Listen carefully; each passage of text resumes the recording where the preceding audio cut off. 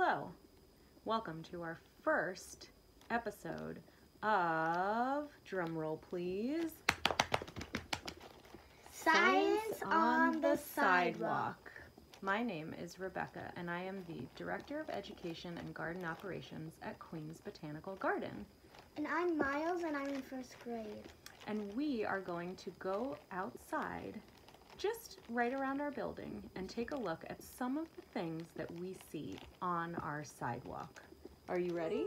Okay, we are back and we are now outside on the sidewalk about to do our science project, right? Yep. We've got our masks on, so we're being very safe and we are right near our building and making sure that there is nobody near us. So, today we are going to look at A crack against a wall. hmm We're going to look at some cracks in the sidewalks. And I bet if you look carefully enough, you will find so much science in the cracks of the sidewalks. So, today with us, we brought chalk, a journal and a pencil, and a measuring tape.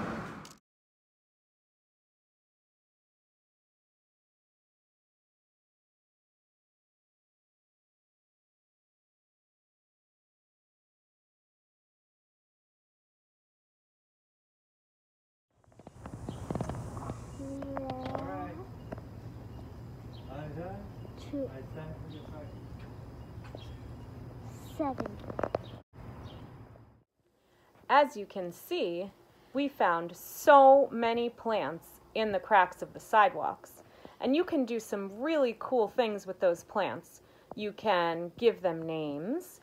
You can see how many leaves you find. You can look them up somewhere in a book. You can even rip them out of the ground and see how many roots they have. Oh, that is a good idea, but do make sure that if you touch the plants on the ground that you use gloves and that one of the adults that you're with says that it's okay. Another thing that you can do with the plants with your measurements is see where in your neighborhood the most plants grow on the sidewalk. Is it a sidewalk that faces north? Is it a sidewalk that faces south? East, west. West? Which one has more plants? That would be a very cool thing to take a look at. Thank you for watching the first episode of Science on the Sidewalk. We hope you join us again. Bye!